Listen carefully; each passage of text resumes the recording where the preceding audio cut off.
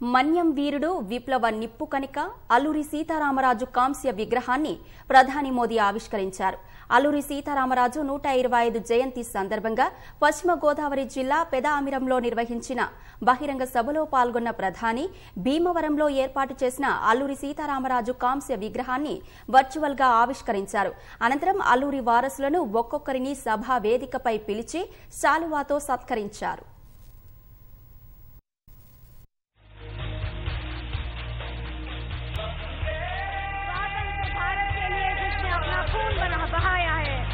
युवता जागो मैंने मेरा खून दिया है आप लोग जाओ और ये स्वतंत्र भारत के लिए उन्नति की ओर बढ़ो प्रगति की ओर चुनो ये हमें संकेत देता है श्री अल्लूर सीताराम राजू जी का ये स्टैच्यू భారత్ మాతాకి ఇవాళ మనం చాలా అదృష్టవంతులం ఇక్కడ అల్లూరి సీతారామరాజు గారి కుటుంబ సభ్యులు మనతో ఉన్న